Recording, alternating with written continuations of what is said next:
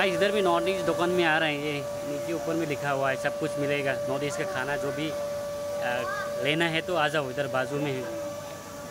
आज हम लोग एक्सप्लोर किया है पूरा ले लिया है देखो। ठीक है?